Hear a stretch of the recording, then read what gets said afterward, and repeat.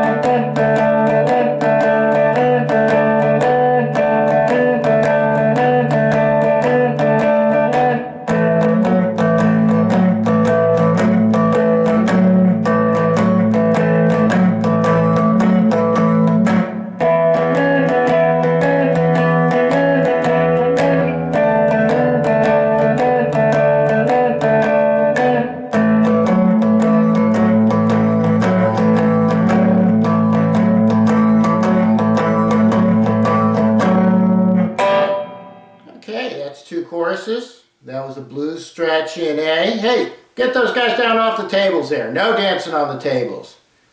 I'll be back.